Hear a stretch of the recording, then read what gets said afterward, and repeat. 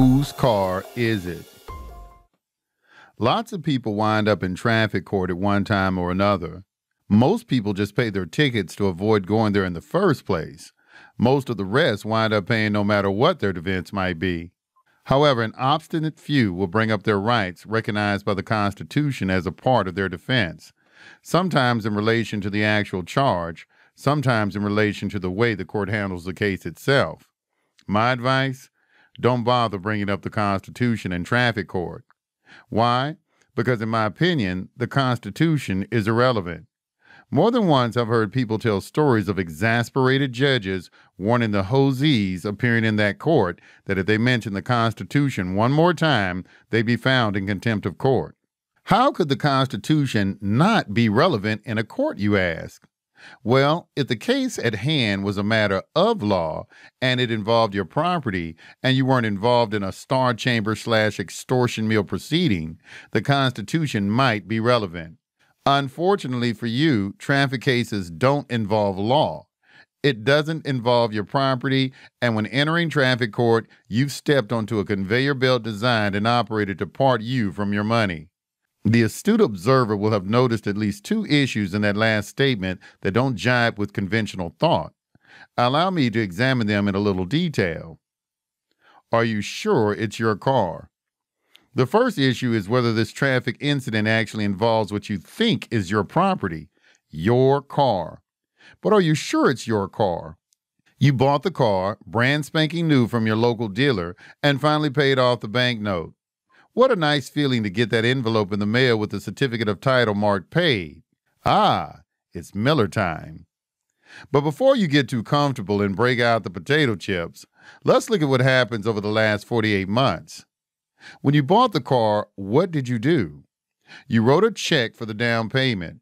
When the car arrived at the dealer's lot, you wanted to drive it now, so you let the dealer title it with the state.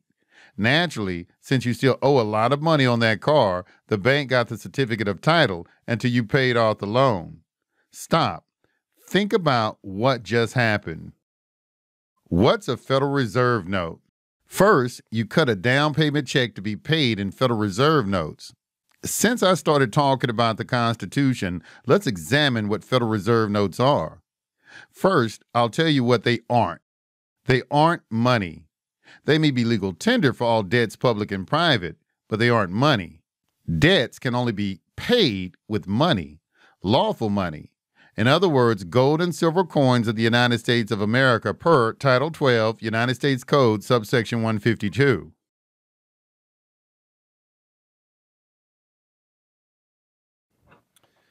Justice Department looks to stamp out constitutional alternatives to the Fed by Pat Shannan.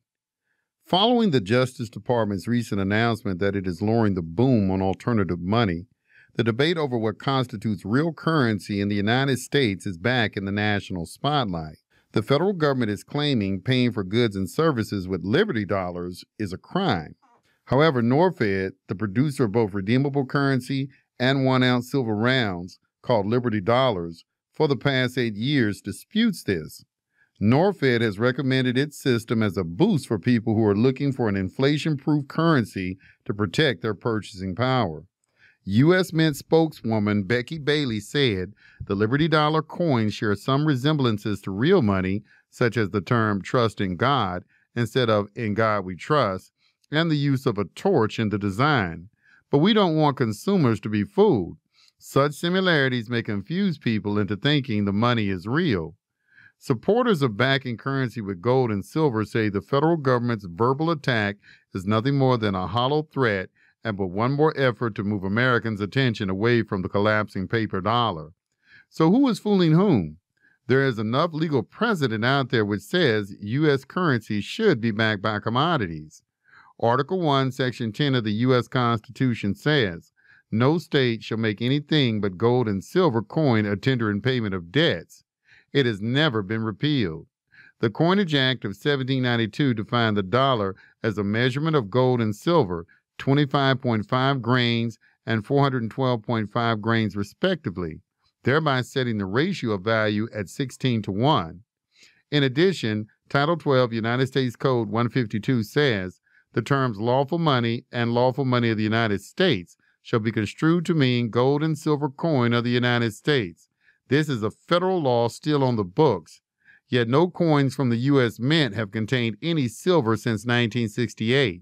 The production of gold coins ceased in 1933 with FDR's confiscation statutes. The first non redeemable Federal Reserve notes were issued in 1963 without the then familiar clause in the upper left hand corner.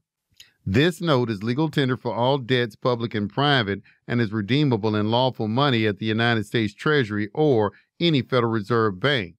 But lawful money was defined in Title 12 United States Code 152 above. The old redeemable notes circulated together with the new frauds or Federal Reserve accounting unit dollars, so called by monetary realist and Republican Ron Paul, Republican in Texas, for nearly five years until the banks refused to redeem any paper notes for silver after June 24, 1968. Then the bona fide notes were gradually collected by the banks and taken out of circulation. Silver currently sells for over 10 frauds per ounce. The new notes, now deceptive misnomer, as a note by legal definition, must be payable in something, claimed to be the entity rather than the receipt for the entity. And the hoax was complete. Now the government could fund itself and not have to depend upon the constitutional taxes by apportionment. After several reprintings and design changes, these are still the same Federal Reserve notes that Miss Bailey is proclaiming to be real money in 2006. Can anyone other than a government bureaucrat make such an outlandish statement with a straight face? So you didn't really pay off that loan. You merely discharged that debt with a negotiable instrument of debt Federal Reserve notes. So you didn't really pay that debt, you merely discharged it. If you really didn't pay for your car, how can you claim to own it? It was your car, sort of. The next thing you did was let the dealer title your car since you wanted to drive that new car off the lot now, not later. What exactly happens there? The dealer took the manufacturer's statement of origin, the MSO, which was the first piece of paper constituting legal evidence of ownership of the car, and gave it to the state. Think about that. Here you are, authorizing the dealer to take the only evidence of ownership associated with that car and donate it to the government. What does the state give the dealer in return for that document of ownership? They give him a certificate of title evidence that a title exists, but not the title itself, and not a document showing that you have the actual absolute right, title, and interest in that car. Huh? You got a piece of paper that has your name on it, their name on it, and the word owner is next to your name. You own it, right? Wrong. The certificate of title is merely evidence that a title exists. Someone in the state government has signed a document that certifies that a title exists somewhere. Hence, the document is called a certificate of title rather than a title. There are a dozen different ways to legally define ownership, but the one we're concerned with here involves the bare legal ownership in the form of a possessory right. You may have physical possession of the car, but that doesn't necessarily mean you own it the way you think of the concept of ownership. What is the true title for that car? The manufacturer's statement of origin, the MSO, an actual attested legal document prepared by the manufacturer stating that they created the car, manufactured it, and therefore own it until they sell it. The next owner can prove his true ownership of the car in law by possession of the MSO and a bill of sale. What was the document showing ownership or title of the car during the time between when the manufacturer built and owned it and the dealer sold it to you? The MSO. If the MSO is only an indication of what type of car it is, what year it was made, or other sundry descriptive information, why would the state be so concerned with receiving and retaining it? If the MSO is not legal title, why wouldn't simply showing the MSO to the state suffice? Why is the state so concerned that the certificate of title be printed on archival grade, fraud resistant, security featured document paper, the kind normally reserved for legal documents like stock certificates and titles to homes and land? Why do they insist on the delivery and retention of the original MSO? Why wouldn't a court certified copy do? Or an official notice from the manufacturer? Isn't the point of the MSO to simply to show that the car that was delivered to you was new and that you own it? In fact, if you march down to a court reporter slash notary public slash judge with a dealer and have the reporter slash authority certify under oath that the MSO that you hold is the original, have the dealer affirm under oath in an affidavit that he delivered the original MSO to you, and you then bring a court certified copy of that MSO to the Department of Motor Vehicles to title it, they still won't take it. Why? Because they need the original MSO to effect a transfer of actual title to them to the state. They then issue you a certificate of title, which merely evidences that a transfer took place, that an actual title does exist, and that while they hold actual title and therefore legal ownership of the car, you have bare legal possession of the car. So, who was it that really owns your car? Your car goes into a trust. Okay, so now the state owns your car. So what? Well, here's what What's the first thing you let that dealer do after you got your car titled? He registered it. What's wrong with that? You have to understand how registration affects the status of property, and you have to understand the concept of trust. A trust is a situation where property is held by a legal entity for the benefit of another. The property may or may not be in the physical possession of a trustee of the trust. No matter who has physical possession of the property, it is subject to the terms of the trust. Anyone having physical possession of trust assets has a fiduciary duty to maintain or improve the assets of that trust for the benefit of whoever holds interest in the trust. The terms of a trust are its constitution. While the federal constitution involves law, the terms of a trust involves private law or contract law that will be litigated in courts of equity. Incidentally, who owns and operates the courts of equity? The same state that owns legal title to your car. Should we be surprised if the state court routinely ruled in favor of the state? What is required to create a trust?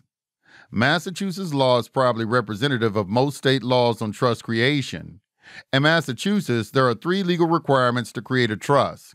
Number one, a written transfer of the property to another person containing a description of the property. Number two, the names of at least three parties involved. A, creator slash transferor of the trust.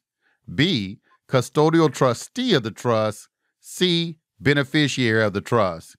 And number three, an evidencing of the creation of a trust by registration of the property. Check it out.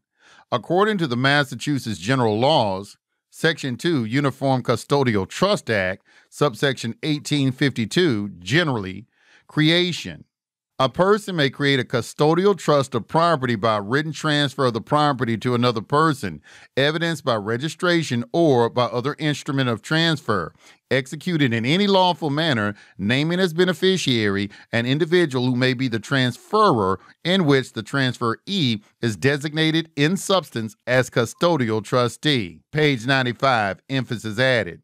If you read section 18.52 carefully, you'll notice two terms that are easily misunderstood or overlooked person and individual. The average person wouldn't dream that the meanings of person or individual could include government, but the average person could be wrong. Both person and individual can be used to identify a legal fiction such as a corporate state government.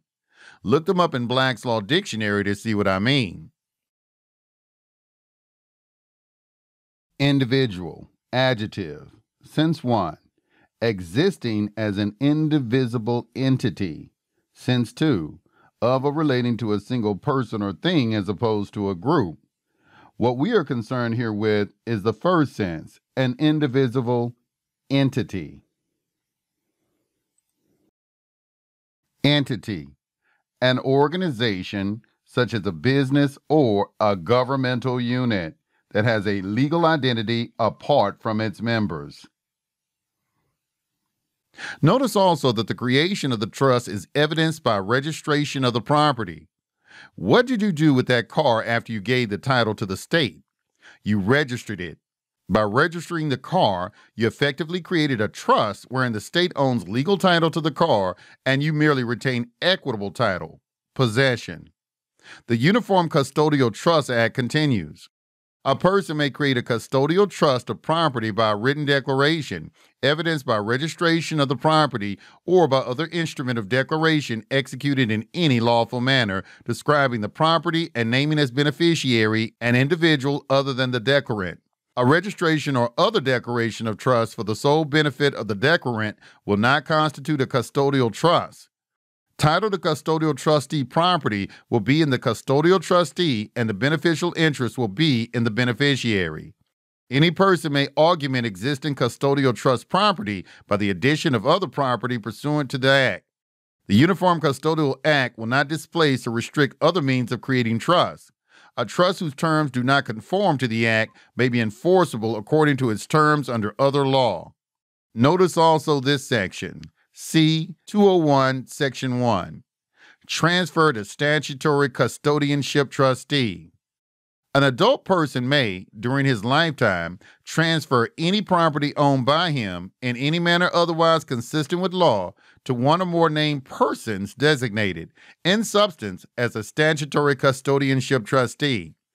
Such transfer shall be sufficient to create a trust upon the terms set forth in this chapter, as it is in effect at the date of the transfer, without any further trust instrument or designation of terms, and without appointment or qualification by any court, and shall be complete upon acceptance of the trust by the trustees or trustees manifested in any form.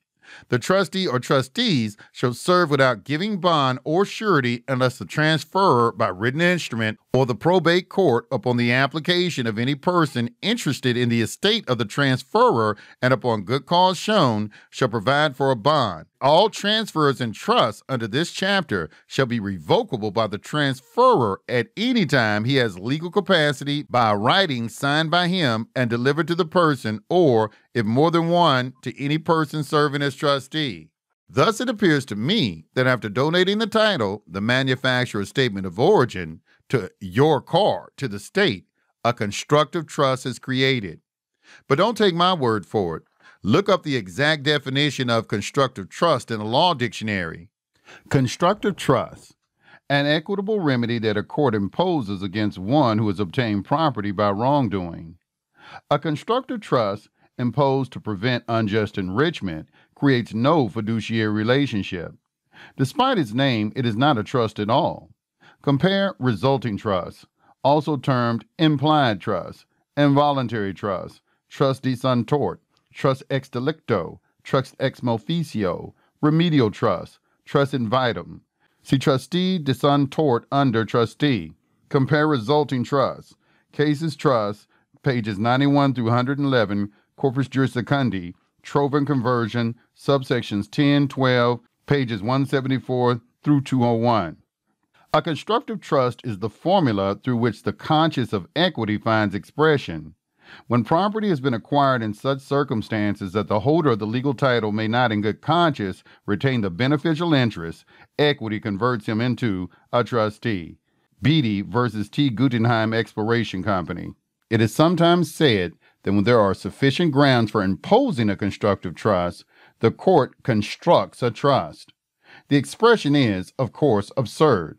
The word constructive is derived from the verb construe, not from the verb construct.